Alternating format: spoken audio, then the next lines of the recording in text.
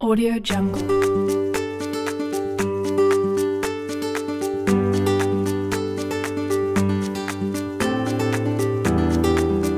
Audio Jungle.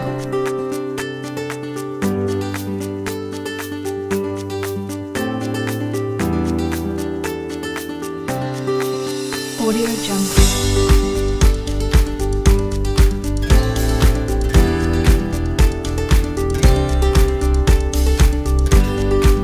Audio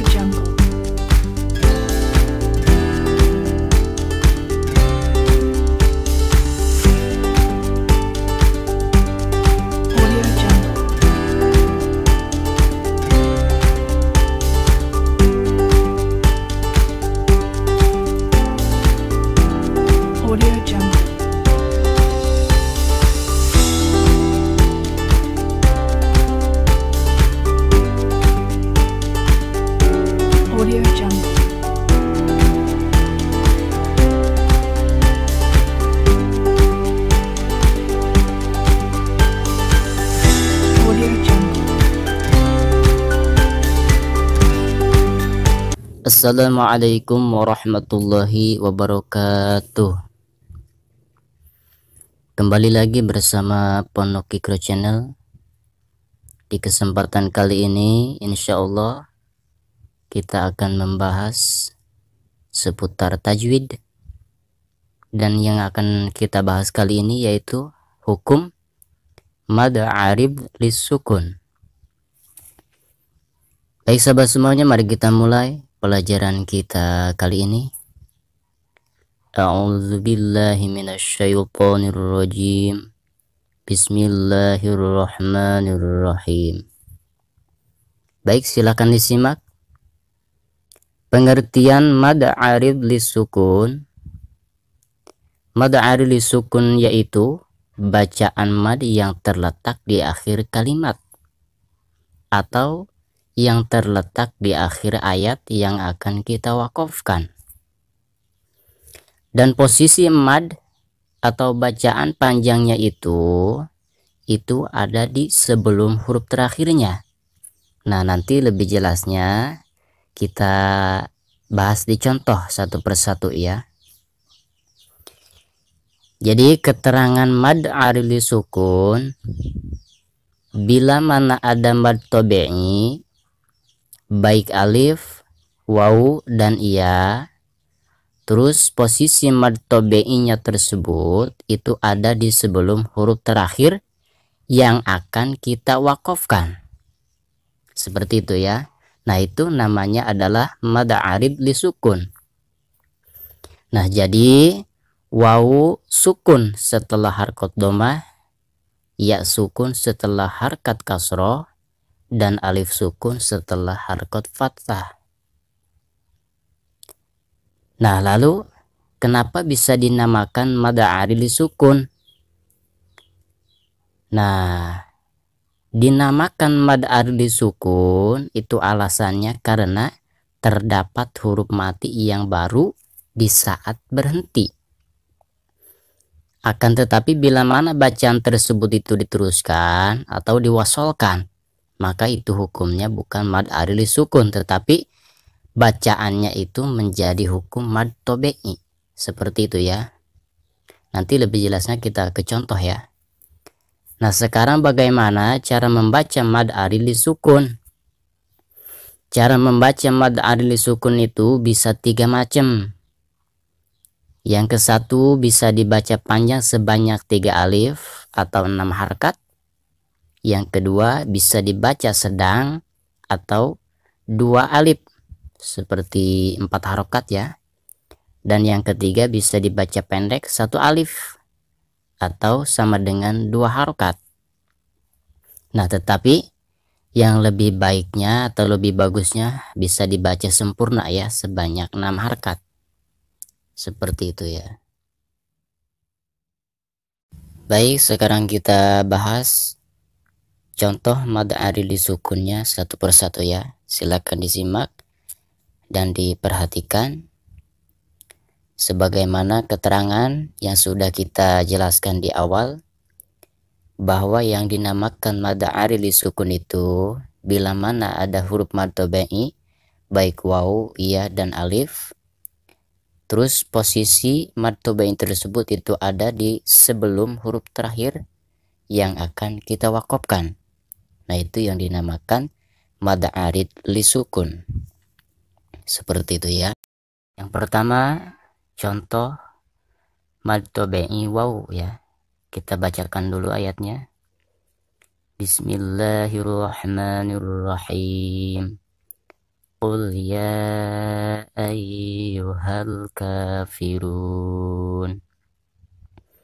Bisa diperhatikan di sini ada martobe'i waw ya martobe'i waw posisinya itu ada di sebelum huruf terakhir yaitu huruf nun ketika diwakopkan ya nah ini dinamakan mada adil sukun Cara membaca mada adil sukun itu bisa tiga macam. Bisa dua harkat kafirun. Bisa empat harkat kafirun. Dan bisa enam harkat kafirun. Seperti itu ya. Nah itu juga dihukumi mad adil sukun juga kalau ketika diwakafkan.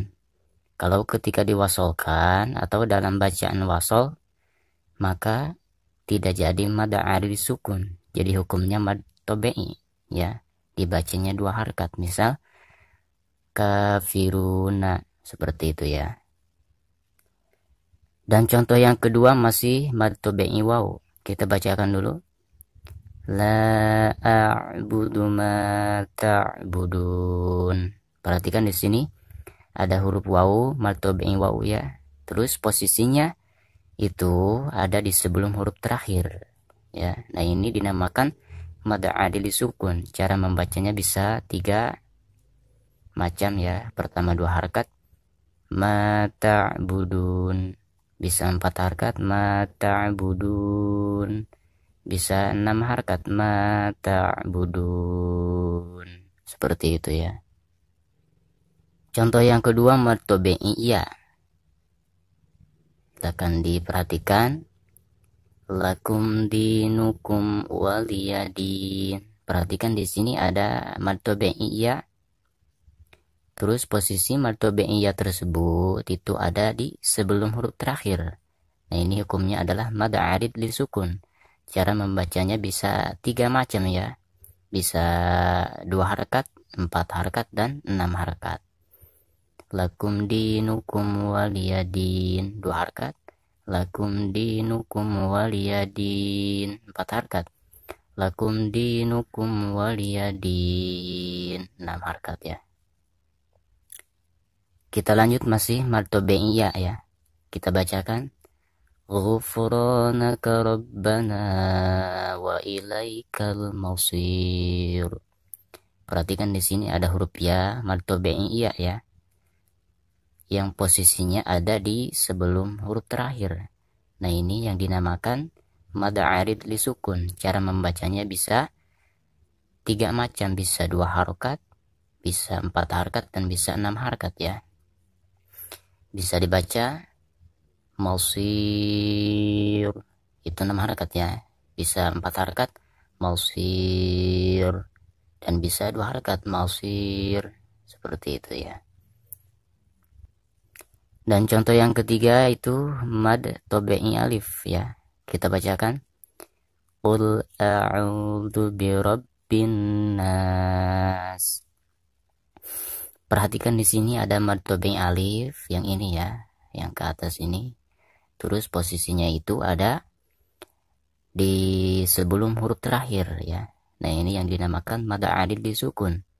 Cara membacanya bisa tiga macam, bisa dua harkat, birobbin nas bisa empat harkat birobbin nas bisa enam harkat birobbin nas. Seperti itu ya. Selanjutnya masih matobi alif. Kita bacakan dulu. Malikin nas. Perhatikan di sini ada matobi alif. Yang posisinya ada di sebelum huruf terakhir. Yang ini yang ke atas ini ini matobi alif ya.